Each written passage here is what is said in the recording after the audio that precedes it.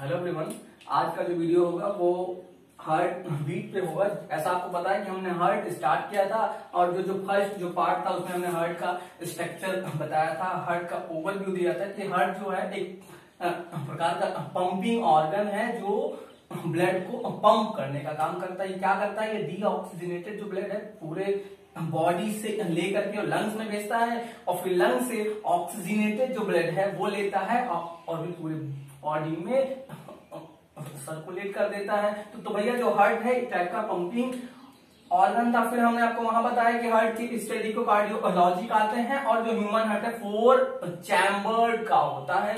तो उसी हार्ट में ही एक टॉपिक हार्ट बीट ये बहुत बार पूछा गया कि भैया हार्ट बीट क्या होता है? तो आज हम आज का जो वीडियो होगा, वो हार्ट बीट पे होगा।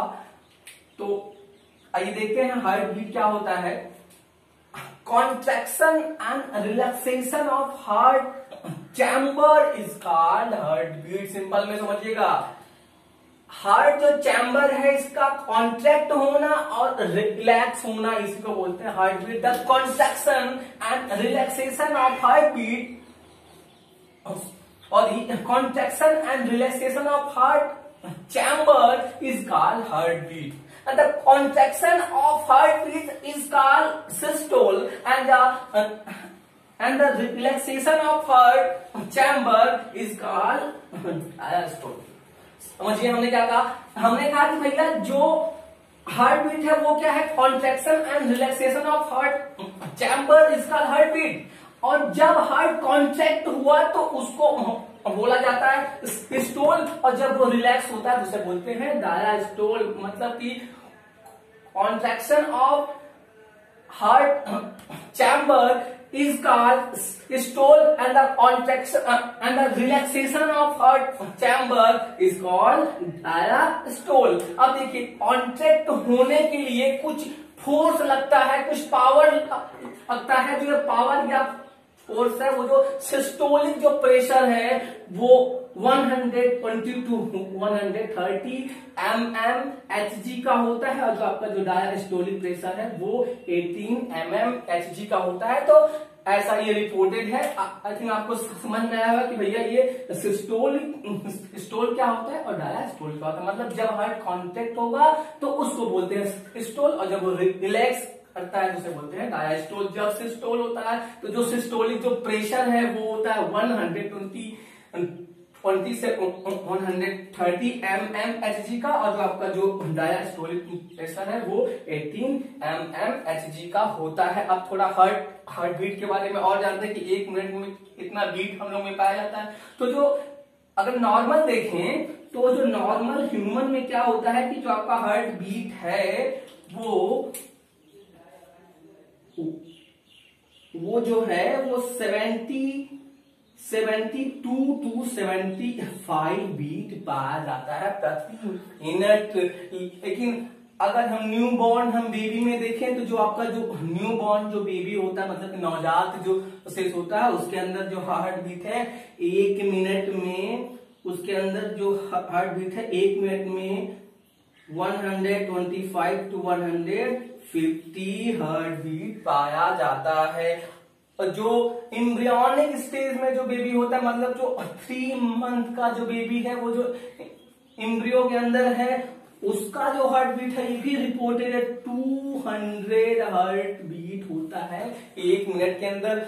अगर नॉर्मल हम पर्सन की देखें ऐसे हमने बताया कि 72 टू 75 बीट होता है तो एक बीट होने में एक बीट होने में ऐसा रिपोर्टेड है कि ज़ीरो पॉइंट एक सेकेंड का समय लगता है। तो इसको दिमाग में नोट कर लीजिए कि भैया, एक बीट होने में जो नॉर्मल कंडीशन में जो है ज़ीरो पॉइंट एट सेकेंड का जो क्या बोलते हैं, जो टाइम है, वो लगता है और एक मिनट में seventy two to seventy five beat होता है और जो न्यू बॉर्न जो बेबी है, वो one twenty five to one fifty beat होता है। और जो इम्ब्रियोनिक स्टेट में जो बेबी है, जो थ्री अंत का है, उसके अंदर 200 बीट पाया जाता है।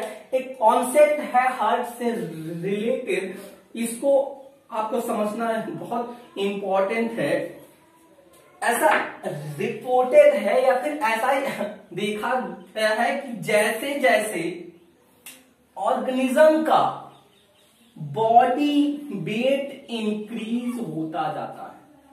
अच्छे से समझिएगा। जैसे जैसे ऑर्गेनिज्म का बॉडी वेट इंक्रीज होता जाता है, उनका जो हार्ट बीट है, वो डिक्रीज होता जाता है। अच्छे समझिएगा। जैसे जैसे ऑर्गेनिज्म का बॉडी वेट इंक्रीज होता जाता है, जो हार्ट बीट है, वो डिक्रीज होता जाता है। आइए हम एग्जांपल से समझते हैं। हम देखते हैं ब्लू वेल को देखते हैं। बॉडी वेट उसका भाई सबसे ज़्यादा है। जो आपका जो ब्लू एल है, उसका बॉडी वेट तो बहुत अधिक है, उसका हार्ट बीट एक मिनट में ट्वेल्व टू फिफ्टी बीट होता है।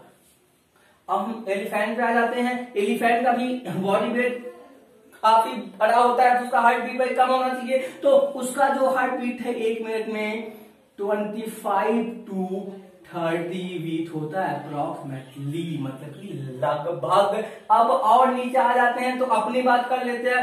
अब अब अगर हम ह्यूमन की बात करें तो भैया ह्यूमन में हमने आपको बताया seventy two to seventy five beat होता है अप्रोक्सीमेटली और नीचे आते हैं तो न्यू बॉर्न बेबी की बात करते हैं।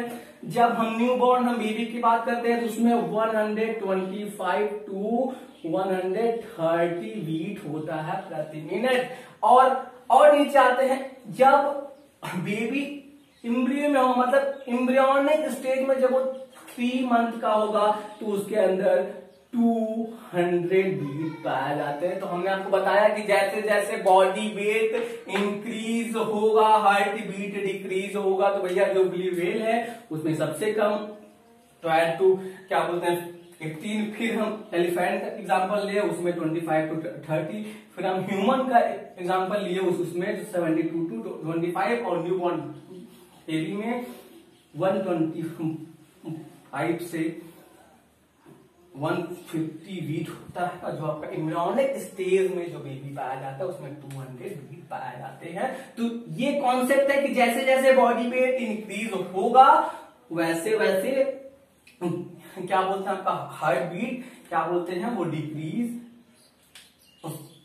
डिक्रीज हो, होता रहेगा मतलब बॉडी वेट इंक्रीज होगा और हार्ट बीट डिक्रीज होगा। एक बार फिर से हम देख लेते हैं। हमने बताया कि हाँ, हाँ हार्ट बीट क्या है? Contraction and relaxation of heart chamber is call heart beat the contraction of heart chamber is call stole and the relaxation of heart chamber is call diastole जो सिस्टोलिक जो प्रेशर होता है, वो 120 twenty M M H G का होता है। जो आपका जो डायास्टोलिक जो प्रेशर होता है, वो 18 एम एम एच जी का एच जी का होता है। इस वीडियो में इतना ही। अगर ये वीडियो आपको अच्छा लगा हो, पसंद आया हो तो कमेंट कीजिए। शेयर कीजिए। और अगर चैनल पे नया हो तो सब्सक्राइब करना। बिल्कुल मत बोलिए